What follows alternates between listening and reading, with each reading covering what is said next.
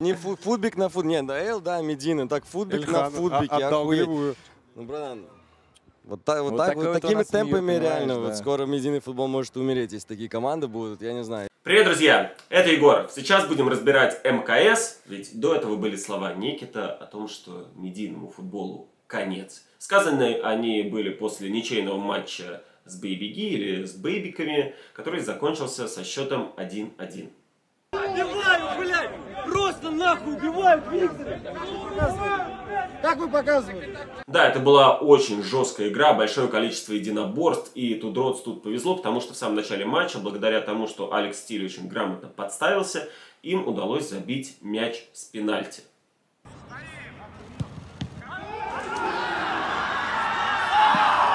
Дальше же была игра плюс-минус в одни ворота. Бей-беги нанесли 17 ударов, причем значительное количество очень опасными получились. Намного больше подали угловых, точнее здесь вообще гигантское преимущество по угловым. Больше владели мячом, но и доминировали. Здесь ничего не скажешь.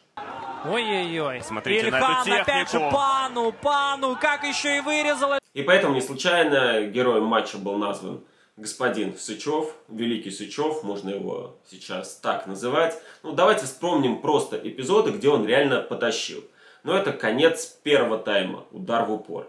Еще один опаснейший удар в конце первого тайма, когда Сычев ну просто великолепно сыграл, достав мяч из-под перекладины.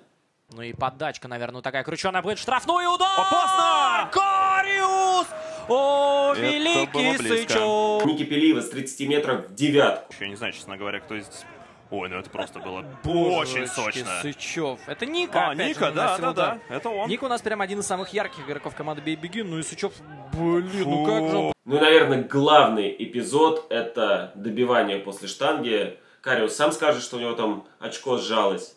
Но ведь он потащил, и смотрите, как потащил. Грамотно вышел, все сделал. Молодец. Бил там дальше Сычев, по-моему, в очередной раз пас уже после вот этого удара. Да, Снова да. Сыч. Ну А ведь еще был ряд эпизодов, когда бей-беги били мимо.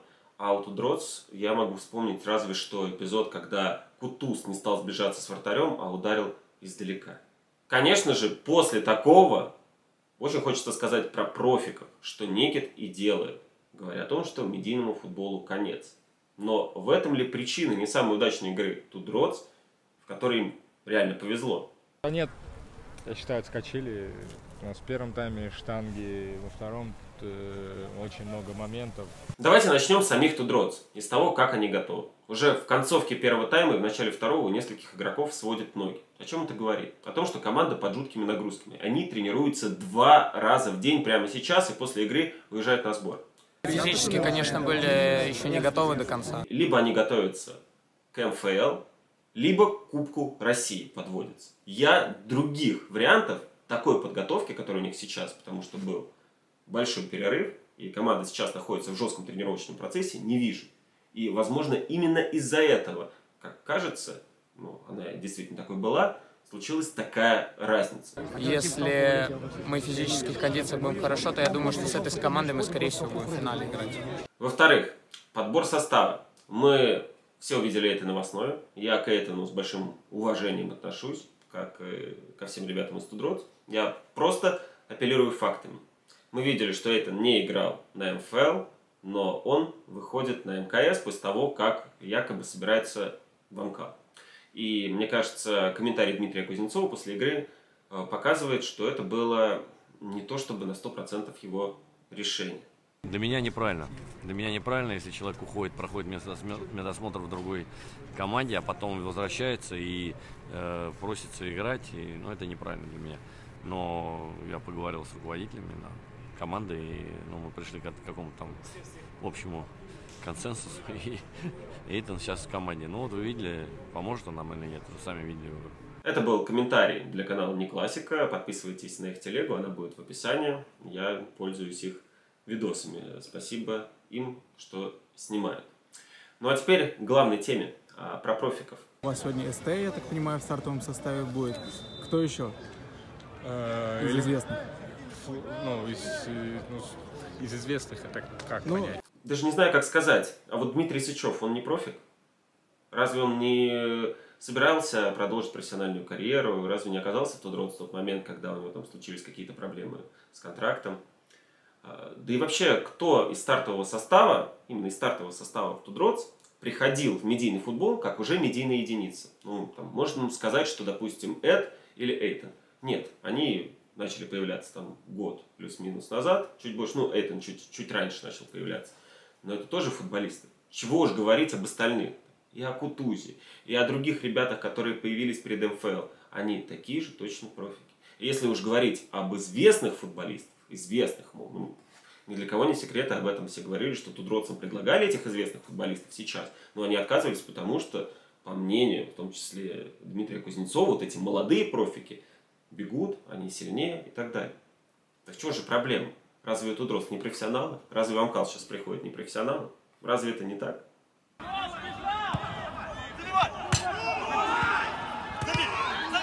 Давайте пойдем дальше. Представьте, что вы создаете сейчас медийную команду.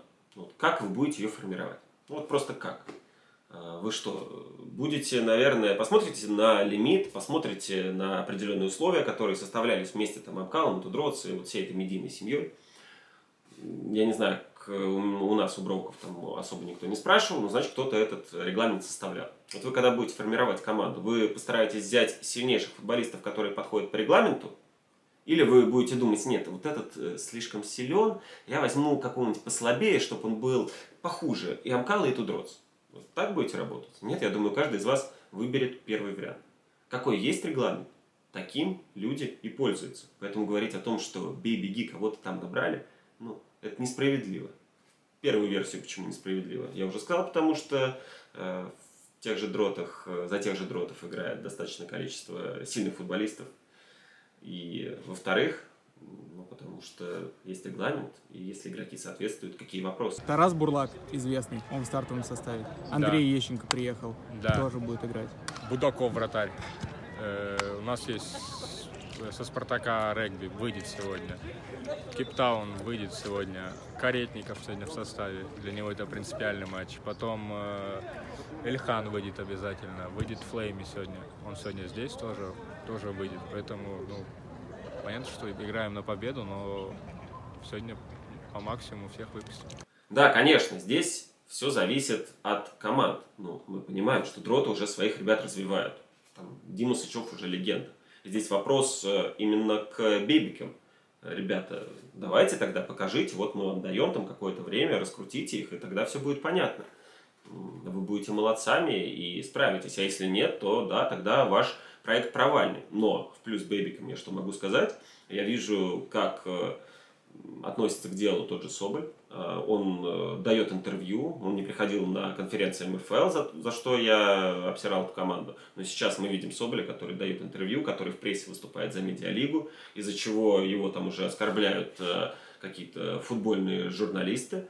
И там Соболев сейчас чуть ли не в суд подает. Я надеюсь, что э, суда не будет. э, Но, тем не менее, Соболев рубится за медийный футбол. Там Леонид Федорович Трахтенберг тоже что-то там рубится, бегает. Там и Джики, который выскакивает на поле не меньше, чем э, тот же Некит. То есть, в принципе, пацаны дают контент. Это нормальная тема. Так что жаловаться сейчас, на данный момент, особых причин Ты обижаешься на бейбиков? Нет, я вообще ничего не обижаюсь. Это медиалига, здесь что обижаться? Но еще одна деталь про смерть медийного футбола. Ну, кто-то скажет, там, бейбики виноваты, кто-то вообще скажет, что у Броков там профики. Ну, хотя вы все прекрасно видите, что мы всех ребят пытаемся развивать, и они все уже мемообразные, скажем так. Поэтому э, медийность тут сохраняется. Но давайте честно признаем, друзья, медийный футбол закончился примерно в тот момент, ну, в нынешнем его понимании, когда закончился Амкал. Новый Амкал появился, ушла целая плеяда, которая оказалась не нужна, там, начиная от Ставра, заканчивая Сани ФИФА, и появились в команде футболисты из Амкала Про. Ну, Это объективная данность. И это абсолютно неплохо. Это абсолютно не критика. Да, время людей, которые совсем плохо играют в футбол, оно, к сожалению, прошло. И теперь остаются медийные команды, которые набирают хороших футболистов и пытаются сделать из них медийных. Это данность и это реальность. Но говорить о том, что медийный футбол умер сейчас, это абсолютно неправда. Потому что и Дроты, и Амкал, как два гегемона, и я как участник этих процессов, прекрасно понимал, к чему все в итоге придет. И какие регламенты и лимиты ты не ставь, все равно все будет именно так. Именно поэтому и Амкал набирает профиков, и Тудрот тоже набирает профиков. И здесь вопрос лишь в скаутских службах и ни в чем ином. Медиафутбол вообще. Вот кто там на поле из медиа? Вообще никого. Я просто вот хуй знает, реально. Так что, друзья, если гранды и хотят кому-то задавать вопросы, то пусть в первую очередь задают их себе. В том числе потому, что и они создают эти турниры, в том числе потому, что и внутри их составов происходила революция. Так что, я думаю, бэбикам вопросов на данный момент много быть не должно. Но тем интереснее будет медийный футбол. Мы будем смотреть за трансферами, мы будем искать сильных игроков все вместе и будем стараться их развивать. Все логично, друзья. Тем более тех же новичков Тудротс вы влюбились. Что помешает влюбиться в остальных. Это был Егоров. Я не приемлю. Вы скажете, что я вот душню? Нет, я наоборот не приемлю этого душнилого, которое иногда идет с тех, кто все создал. Я их очень уважаю, они крутые чуваки, но данность такова.